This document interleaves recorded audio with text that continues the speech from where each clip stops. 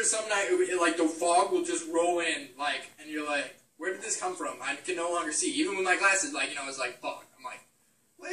It just rolls out of the out of the mountains in like five seconds, and you're like, I can't see anymore. I cannot see to the next HAS. Like, I can't see a thing.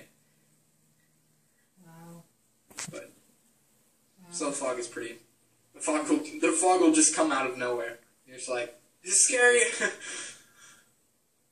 like I said that night, we were doing the pylons. I seriously thought of, like I'm in the twilight zone because we were doing that, and I couldn't. You know, the fog was so bad, I couldn't see the next HAS. I couldn't see anything that was going on in the flight line. So I'm like, I'm in the twilight zone. I'm gonna be stuck at this job for the rest of my life. like it's gonna go repeat over and over and over. It's just this, like I, I feel like I'm stuck stuck here.